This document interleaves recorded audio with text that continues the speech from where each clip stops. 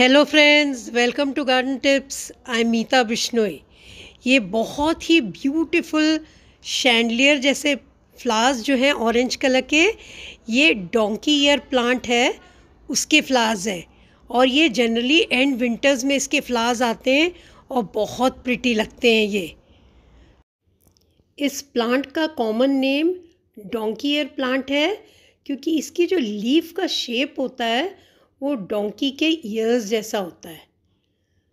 तो इसका नाम पड़ गया है डोंकी ईयर प्लांट ये एक कैलेंकोई प्लांट है डोंकी ईयर प्लांट चलिए इसके केयर के बारे में और इसका प्रोपोगेशन का तरीका देखेंगे जो बहुत डिफरेंट होता है।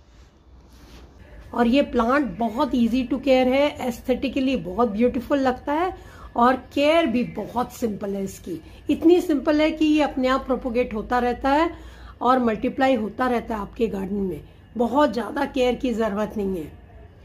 बस एक चीज़ है, आप इसको अपने गार्डन में ला के लगा दीजिए, ये आपके पास परमानेंट रहेगा और खूब सारे मल्टीप्लाई होंगे। आप अपने फ्रेंड्स रिश्तेदारों को सबको बांट सकते हैं। इतनी इजीली ये मल्टीप्लाई होते हैं। रीज़न बीइंग कि इसका प्रोपोगेशन बहुत सिंपल और बहुत डिफरेंट टाइप से है। इसका प्रोपोगेशन कैसे होता है? इसका प्रोपोगेशन होता है, इसके लीफ के एंड से एक छोटा सा बेबी प्लांट निकलता है और ये देखिए यहाँ से एकदम एंड से और उसमें रूट्स भी होती हैं और जब वो मेच्योर हो जाता है वो बेबी प्लांट तो वो झड़ जाता है इसमें से लीफ में से और जहाँ गिरता है, वहीं पर इसका प्रोपोगेशन शुरू हो जाता है। और वो गिरता हैवी होता है जहाँ पर रूट्स होती हैं उसकी तो जहाँ गिरता है, वहीं पर प्रोपोगेशन इजीली हो जाती है। रूट नीचे जाती है सॉइल में और प्रोपोगेट हो जाता है। अब मैं छोटे प्लांटलेट्स दिखाती हूँ आपको। लीफ के एकदम एज में छोटे छोटे प्लांटलेट्स डेवलप होते हैं और इनमें रूट्स भी होती हैं। रूट्स भी डेवलप्ड होती हैं। ये देखिए, ये जो ब्राउन ब्राउन दिख रहे हैं, ये रूट्स हैं।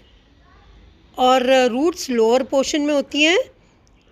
और इसको तो मैं काट रही हूँ, मगर जनरली ये जब मैच्योर हो जाते हैं तो ये अपने आप गिर जाते हैं।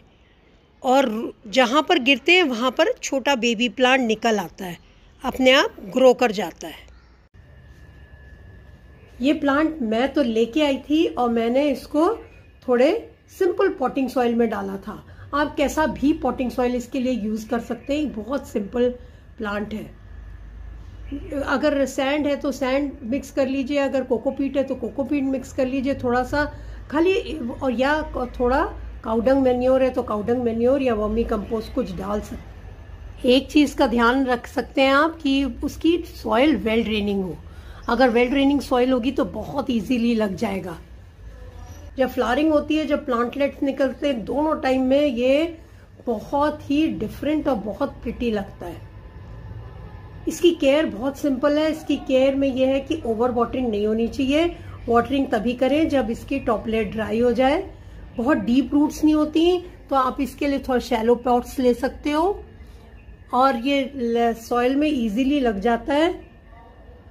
कैसी भी सॉइल हो वेल ड्रेनिंग हो तो बहुत ही बढ़िया है। नेक्स्ट देखते हैं सन ये सन एंजॉय करता है। खूब सन फेसिंग में इसको आप रख सकते हैं। तो ये बहुत अच्छी फ्लारिंग भी करेगा ग्रो भी करेगा। थोड़ी कम लाइट है, तब भी ये सर्वाइव कर जाता है। ये इतना इजी टू ग्रो है। नेक्स्ट इसमें बहुत ज़्यादा हाई फीडर नहीं है तो बहुत ज़्यादा फर्टिलाइज करने की भी ज़रूरत नहीं है इसको। जैसे आप सबको फर्टिलाइज करते हैं फेब अक्टूबर में, आप तब कर सकते हैं इसको। इन्फेस्टेशन इसमें बहुत ज़्यादा होती नहीं है। तो देखिए, ये इसकी सब क्वालिटीज ही क्वालिटीज है। इसकी इजी टू केयर देखने में इतनी प्रिटी फ्लावर इतना सुंदर प्रोपोगेशन तो इतना सिंपल है कि ये अपने आप ही ग्रो करता रहता है। तो ये बहुत ही प्रिटी प्लांट है। आप ज़रूर अपने गार्डन में लगाइए और इसके फ्लावर्स एंजॉय करिए। आई होप आपको ये वीडियो अच्छा लगा। अच्छा लगा तो ज़रूर लाइक करिए और मेरा चैनल सब्सक्राइब थैंक यू